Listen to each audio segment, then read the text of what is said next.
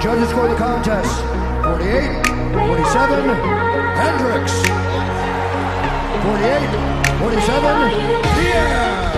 And 48 47 for the winner.